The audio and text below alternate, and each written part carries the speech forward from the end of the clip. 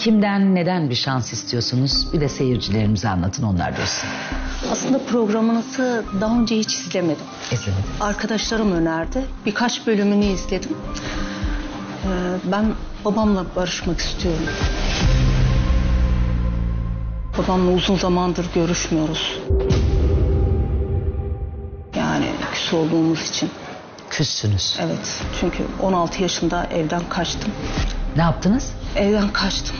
16 yaşında. Evet, evet maalesef. Neden? O zamanki işte cahillik mi, çocukluk mu diyeyim. Aşk. O zamana göre bana yani öyle güzel geliyordu ki. Kaçmanız mı gerekti? Söyleyemediniz mi ailenize? Söyledim. Söylediniz. Babama söyledim. Neden müsaade etmediler? Yaşınız küçük Yaşım olduğu için. küçük olduğu için. Babam okul okumamı çok istiyordu. Okumanızı istiyordu. Çok istiyordu.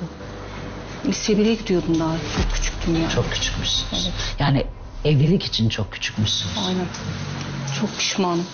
O yüzden sizin Nasıl öyle bir karar verdiniz evlenmeye? Ya okul arkadaşım vardı Hilal diye bir arkadaşım. Bir gün Hilal'in kuzeni geldi onu okuldan almaya. Onu orada görünce aşık oldum. Sonra görüşmeye başladık mektuplaşmaya gizli gizli.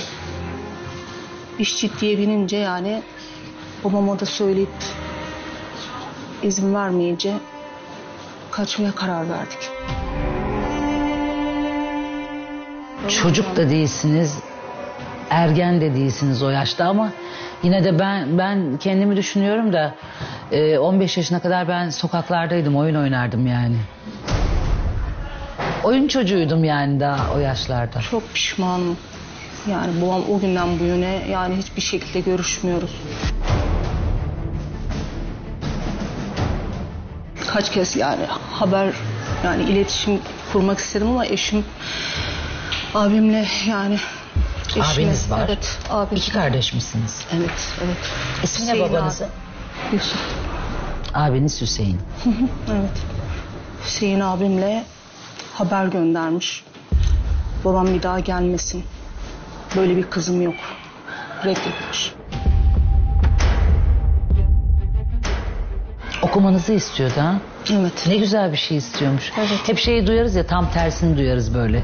Ee, işte okumasın. Yani gerçi eskiden duyardık daha çok.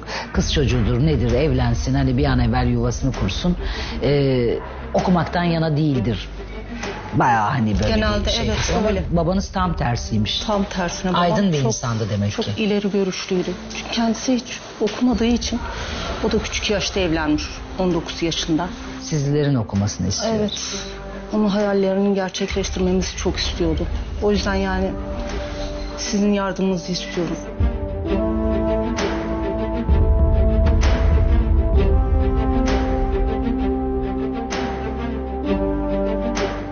Onun hayallerini gerçekleştirdiğimi yani ona duyurmak istiyorum. Af dilemek istiyorum, elini öpmek istiyorum. Peki evlendiniz. Emine Hanım biraz ondan bahsedelim. 16 yaşında evlendiniz. Nasıl gitti evliliğiniz? Yani evliliğin ne olduğunu kavrayamayacak yahut Ya anlayamayacak evcilik bence gibi bir şey yani. Evcilik gibi bir yani şey. evcilik gibi bir şey. Ben o zaman yani çeyizimi hazırlıyordum. Gizli gizli evden arkadaşıma hani kaçma planları yaparken Ne hazırlıyordunuz? evden cezve, fincan ufaktan götürüyordum. Kaçma planları yapıyorduk. Eşime terlik almıştım. Babamın verdiği harçlıkla e, nevresim takımı almıştım. Şimdi şu an aklıma geliyor yani alınacak halime gülüyorum yani. Evlilik evcilik oyunu değildir. Genç kızlarımız. Hani böyle Maalesef. daha akıl baliği olmadan ya yaşayalım bunu diyen genç kızlarımız için söylüyorum. Hani fincan götürüyormuş ya hanımefendi. Evet. Daha böyle oyuncak fincanlarla yalandan çay içme zamanı değil evcilik oyunu değil evlilik. Evlilik ciddi bir müessese ve ciddi bir sorumluluk.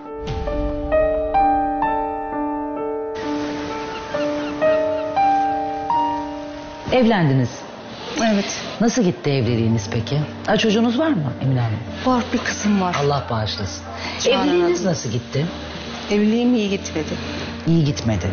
Evet. Yani hamilelik döneminde şiddete maruz kaldım.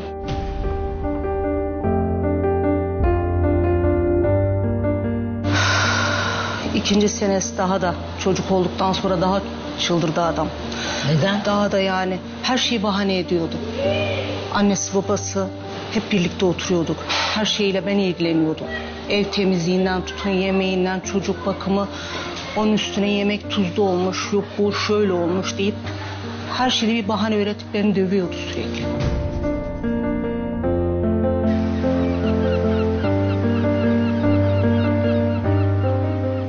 Ev üstüne ev olmuyor değil mi? Ev üstüne ev olmuyor, oturulmuyor yani. Maalesef. Dayak yiyordunuz ha? Çok şiddet uyguluyordu. Boş geziyordu.